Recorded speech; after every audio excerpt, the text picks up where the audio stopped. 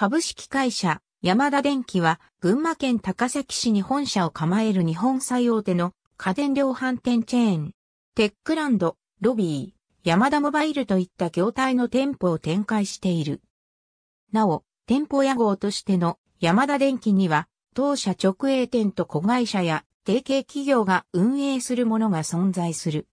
本校では2020年9月まで株式会社山田電機の称号で家電量販店を展開していた持ち株会社の株式会社山田ホールディングスについても述べる。1973年、日本ビクターを退社した宮崎県出身の山田昇が個人商店山田電化センターを創業。1983年に株式会社山田電機設立。群馬県を地盤とした郊外型家電、量販チェーンとしてスタートし、1980年代からは北関東各県の同業である小島、ケーズ電機などと互いの証券への進出と価格競争で激しく競い合い規模を拡大した。一時期小島に対して売上高で劣勢に立たされたが、大型店舗出店の規制緩和に合わせて他社に先駆けて店舗を大型化する戦略に切り替えた。1999年には京都府八幡市に関西第1号店の京都八幡店を開店させ、この店舗から全国展開に本腰を入れ、翌2000年の東京証券取引所第1部上場以降は既存店の建て替え、移転を進めるとともに各地の地元量販店との提携や買収によって全国展開を加速した。2002年に当時トップだった小島を抜いて家電量販店国内最大手となり、2005年2月には専門量販店としては日本で初めて売上高1兆円を達成している。同年7月29日、最後まで未出店だった徳島県で徳島藍住店を開店させ、家電量販店で初の全都道府県進出を果たした。2006年度には家電量販業界内売上規模の2割を占めた。2008年3月に小島が島根県に出店するまでは全都道府県に出店している唯一の家電量販店チェーンだった。郊外のロードサイド出店がメインであるが、さらなる豪様拡大のため、少々県や都心の繁華街の駅前への進出も目指している。2004年6月、都市型店舗の試験を兼ねて、広島市中心部に広島中央本店を開店。そのノウハウをもとに、2006年には大阪市何枠にロビー1ナンバを開店し、以降はロビーを都心のターミナル駅前型量販店業態の統一ブランド名として各地に出店しており、ビッグカメラやヨドバシカメラなどの都市型量販店と激突する格好となっている。また、2006年9月29日、携帯電話や携帯オーディオなどのモバイル機器を専門に扱う小型店舗の新業態、テックサイトを東京都の中野駅前に出店。これも以降各地に展開する。さらに2006年9月、関西及び北海道エリアで山田 TV ショッピングを放送開始。2007年1月4日からは地上波と BS で全国展開し、TV ショッピング分野への本格進出を狙う。2011年には住宅メーカーの S by L を参加に収め、S、L by 山田のブランド名で太陽光発電、オール電化などを備えたスマートハウスの販売促進に力を注ぎ、2012年には住宅機器メーカーのハウステックを参加に収めるなど、家電以外の業態拡大も視野に入れている。2013年3月より全国約700の直営店のうち国内約300店舗の屋上に太陽光パネルを設置して太陽光発電を行っている。2020年10月1日付で持ち株会社体制へ移行した。CM ソングや店内ソングとして用いられている曲として山田電機の歌が存在している。なお、同社を含めて家電量販店9社のテーマソングを収録したアルバムエレクトリックパークがポニーキャニオンより発売されている。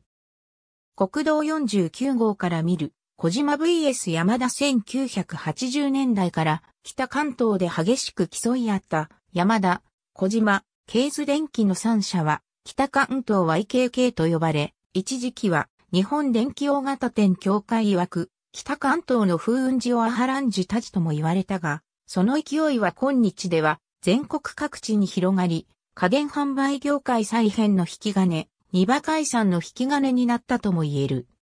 その中でも、特に隣県に本社のある小島との対抗心は非常に強く、互いに近隣に対抗出展し、雨季の写真のような光景は、群馬、栃木エリアのみならず全国で見ることができるほどである。他店より安いを強調しており、その価格表示に関しては裁判沙汰にもなったこともある。1997年に小島は家電製品売上高日本一の座をベスト電機から奪い優位に立ったが、山田が急速に店舗のスクラップビルドを進め、2002年に小島を抜き去りトップに躍り出て、今日のようなスタイルとなっている。また、パソコン販売に力を入れ、独自ブランド PC 構築を目的に、工事を誤解社化するとともに、中古 PC の販売にも力を入れており、これらは法人営業に強みを持つ。2021年7月現在は以下の業態を要する。20世紀末より出店構成を強めて2005年までに47都道府県すべてに出店した。その他、シャトレーゼのフランチャイズにヤマダ電機が加盟し一部のヤマダ電機店舗でシャトレーゼを運営するほか、ヤマダホールディングスグループの関連会社がコスモスベリーズ、最楽館、最学リプラスを運営している。2001年より会員カード、安心会員カード、山田ロビーカードによるポイントサービスを展開し、ポイント制度に否定的な他の郊外型競合店との差別化要素として積極的に利用してきた。山田電機全店で本格導入する前にデジタル21 2点で実験導入した。旧デジタル21のリライト式ポイントカードと山田電機のリライト式ポイントカードは対応各店で相互使用できた。山田ポイントカードは一旦新規発行を終了していたが、後に再開した。近年、ポイント付与ありの高い価格と、ポイント付与なしの安い価格が同時設定され選択できる商品や表示価格を下げてポイント付与なしのみの設定とした商品の数も拡大してきた。なお、東海テックランド系列店舗でのポイントカードは東海テックランドでのみ使用できる旨が明記されている。九州テックランド系列店舗でのポイントカードはデザインも異なり、九州テックランドでのみ使用できる旨が明記されていたが、2008年10月より相互利用が可能となった。また、完全子会社化したプレッソホールディングス参加3社が2007年9月から発行しているプレッソポイントカードは通常のヤマダ電機店舗では使用できないが、旧プレッソ3社からヤマダ電機に転換した店舗に限り利用することができる。2014年12月に山田ポイントカードがリニューアルとなり、従来のリライト式からバーコード読み取り式に変更。また、デザインは山田ロゴが大きく描かれたブルーバージョンと小さなシンボルマークが多く描かれたカラフルバージョンの2種類となり、入会時またはリライト式カードからの切り替え時に選択できるようにした。商品購入時のポイント付与の他に、店舗入り口などに設置しているポイントマシーンの利用でご来店ポイントがプレゼントされる。付与されるポイントはスロットマシンの容量で抽選で決められる。ポイントマシンのサービス提供内容は店舗や利用時期によって異なる場合がある。以下は一部店舗での提供例を含む。導入当初は来店時1人1日1回のみの利用が可能で、最低100ポイントのプレゼントを受けられた。2006年から来店時と商品購入後の1日最大2回まで利用可能となった。現在は再び1人1日1回限りのポイントマシーン利用となっている。利用1回につき50から4000ポイントが付与される。通常時は商品3000円分以上の購入後に利用可能回数が現在の上限値である4回にまで回復する。回復当日にマシーン利用済みの場合、次回利用は翌日以降となる。2010年4月30日をもって、来店ポイントマシーンにおけるリライト式ポイントカードの利用を終了した。2010年5月1日以降、来店ポイントマシーンの利用は、携帯でポイントと携帯でタッチのみとなった。事前に会員登録した携帯電話で画面へのバーコード表示を用いたサービスが、携帯でポイントで、さらにお財布携帯に紐付けしたサービスが、携帯でタッチである。後に、サービス名称を変更し、携帯でポイントと携帯でタッチ機能を含む、携帯で安心会員としている。2014年6月21日からは、クレジット機能付けポイントカードの山田ロビーカードでの来店ポイントサービスが約4年ぶりに復活した。また、ポイントカードについては2014年12月から発行されているバーコード読み取り式の新カードにおいて、ポイントの残高確認と期間限定のキャンペーン利用時にのみマシーンの利用ができるようになった。山田ホールディングスグループは2020年10月1日に誕生した山田ホールディングスを持ち株会社山田電機を中核として構成されている。山田電機、山田ホールディングスは東証一部上場以降、積極的に規模の拡大を施行しており、その手段の一つとして M&A を行っている。2005年7月14日、静岡県が本拠の小売企業、株式会社マキアと合弁会社、東海テックランドを設立。マキアが営業する電気店業態、矢部電機を新会社に分離して、テックランドに転換したが、業績が振るわなかったためフランチャイズ方式を断念。2007年10月1日、マキア保有分の東海テックランド株式を山田電機が買い取り、完全子会社化した。2005年11月1日、香川県を中心にスーパーマーケットを営業する株式会社丸中及び株式会社ダイナマイトコーポレーションと共に中四国テックランドを設立。ダイナマイトが営業する電気店業態、電気のダイナマイトの主力店舗を新会社に分離して、テックランドのフランチャイズに転換。これにより、実質的に電気のダイナマイト店舗を買収した。九州でケーズデンキのフランチャイズを展開していた小一電気がケーズとの契約終了後の2007年2月に合弁会社九州テックランドを設立。小一電気が営業していたケーズ電気店舗はテックランドに転換された。2007年6月29日、新生銀行系ファンドの参加で経営を再建したプレッソホールディングスの全株式を取得し完全子会社化。9月26日には、独立系投資会社のアセットマネジャーズ系のファンドからディスカウントショップの木村屋を運営する株式会社木村屋セレクトの株式94.25%を取得して連結し会社化した。また、2007年9月頃から業界7位のベスト電機の株式を順投資目的として買い進め実質的な筆頭株主となり、ベスト電機がビッグカメラとの資本、業務提携を発表した後も、2007年11月には同社株式を40%まで買い増しする意向を示していた。ところが、2008年8月25日にベスト電機がビッグカメラに対して第三者割当増資を行い、ビッグカメラの株式比率は14.86%となり、2008年10月には、ビッグカメラが株式を追加取得し、持ち株比率を15.03%まで高めて、持ち分法適用関連会社化したため、当時の山田電機は、ベスト電機との提携を一時は断念し、株式保有は引き続き続けるものの、売却も検討するとしていた。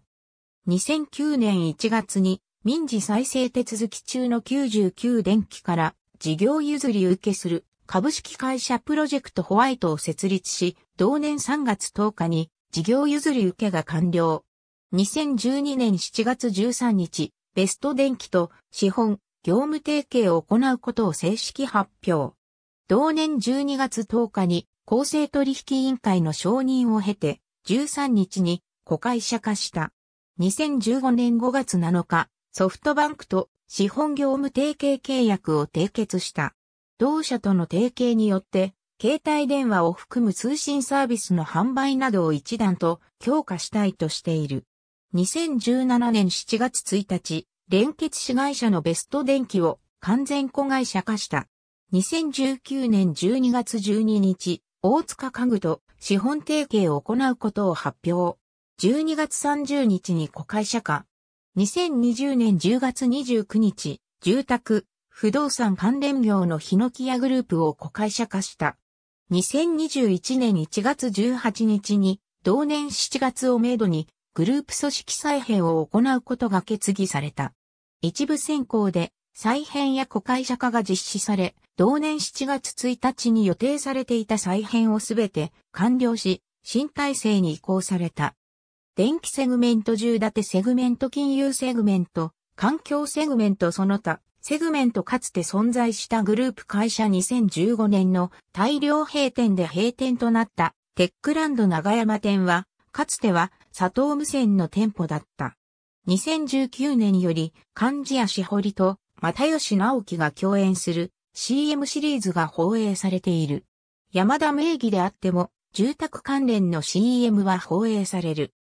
2007年1月23日付の読売新聞記事において、ロビー1ナンバー10でメーカー応援者に対する店側からの命令指示が行われており、職業安定法違反、二重派遣、二重命令に当たると報道された。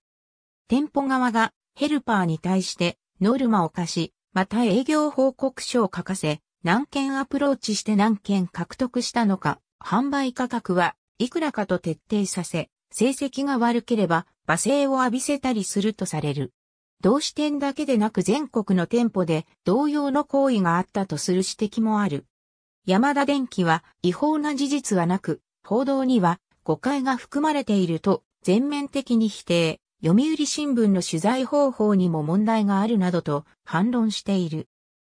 後の週刊文春2007年3月15日号、3月22日号記事によると、一連の読売新聞報道について、山田電機から読売新聞社に対して折り込みチラシの出稿を差し止めるとの圧力があり、読売新聞社がこれに屈して2007年1月27日長官の12版まで出ていた記事を13版以降削除したとしている。読売新聞はこれを全面的に否定し、週刊文春に記事の訂正と謝罪を求めている。公正取引委員会が取引先に対する優位な立場を利用して納入業者に不当な人材派遣を求めた疑いがあるなどとして、独占禁止法違反容疑で、同社本社や数店舗に立ち入り検査に入ったことが、同日夕刊各紙にて報道された2008年6月30日、公正取引委員会は、同社の優越的地位の乱用を再び認定し、独占禁止法違反で排除措置命令を出した。コートリーが認定した不当な派遣人数は延べ約16万6千人に上り、過去最大規模となった。家電販売店に対する同命令は初めてである。これに対して山田電機は排除命令を真摯に受け止め、コンプライアンス体制の強化に努めるとコメントした。一方7月10日に本社で開いた記者会見において、山田昇会長は、納入業者側にも、販路拡大のメリットがある。大手などは、お金は不要だと言っている。相手からの要望で、いなくてもいいと発言した。2007年3月30日、埼玉県熊谷市の熊谷廃校センターで、家電リサイクル料金を受け取って顧客から回収した不要家電品を中古品販売業者や輸出業者へ横流ししていたことが発覚した。経済産業省と環境省の調査が入り、山田は現地の担当業者を告訴した。山田側の説明によれば、この業者が単独で言ったもので、組織的なものではないと話している。パワーハラスメントによる従業員の自殺契約社員として中途入社し、神奈川県内の店舗に勤務していた男性が上司から、てめえ、嘘つきなんだよ、死んでみろと罵声を浴びせられ、2004年4月上旬に自殺した。遺族は2005年1月25日に山田電機を安全配慮義務の形態により提訴した。柏崎店従業員の過労自殺契約社員として中途入社し、テックランド柏崎店に勤務していた男性が正社員に登用と同時に管理職へ就任させられ、2007年9月19日に過労で自殺した。長岡労働基準監督署は2011年6月に労災と認定した。労基署の調査によれば、死亡1ヶ月前の残業時間は100時間を超えていた。赴任後は休みを取れなかったという。遺族は2013年12月11日に山田電機を提訴した。その後、2017年1月13日に裁判上の和解が成立した。船引き店従業員の過労自殺テックランド、船引き店に勤務していた男性店長が営業不振を要因とするプレッシャーから架空売上を計上してしまい、2013年7月に自殺した。同社が関東新越国税局の税務調査により、2013年3月期から2016年3月期までの3年間にわたり約28億円の申告漏れを指摘されていたことが2018年1月に判明した。中国の子会社への貸付金をめぐり、期末時のルートで申告すべきところ、貸付時のレートのまま申告していた模様である。同社は追徴税額約6億円を含め修正申告を行ったとしている。陸上競技部の活動が知られている。2004年に休部となった水穂銀行の陸上競技部を引き継ぐ形で、山田電機女子陸上競技部として発足。2012年に元仏教大学陸上部監督で、同大学を全日本大学女子駅伝連覇に導いた森川健一を招聘し、森川の指導を受けた選手を多く入部させて力をつけている。2017年3月を最後に廃部となったモンテローザより5名の選手と監督、マネージャーが移籍し、これに伴い、山田電機陸上競技部に名称変更。2020年10月の持ち株会社化により、山田ホールディングス陸上競技部に名称変更。選手寮を北群馬郡吉岡町に置いており、選手が集団生活しながら競技活動を送っている。道庁に講演会も作られており、地域交流も行われている。2021年現在の女子中長距離部監督は高木正一、コーチは横山慶。トラックフィールド部監督は田中博正。以下の所属選手には変動があり、チーム紹介公式 HP 参照。2014年に女性グループ初の国立競技場コンサートを行った桃色クローバー Z は無名時代に全国の山田電機の店頭で頻繁にライブを開催していた。休日の ETC 料金がどこまで行っても上限1000円という当時の割引制度を利用し、車中泊をしながら各地の山田電機を回って店先で踊り、CD を手売りしていたというエピソードがある。2009年5月24日から8月16日まで山田電機プレゼンツ桃色クローバー、ジャパンツアー2009桃色台風のツアータイトルで24カ所の店舗で104公演の無料ライブを行った。夏休み期間は毎日のようにライブを実施し、8月13日の山田電機川崎店では照明設備のないまま日没となったが、車のヘッドライトで照らしながらライブを続行したという逸話もある。ありがとうございます。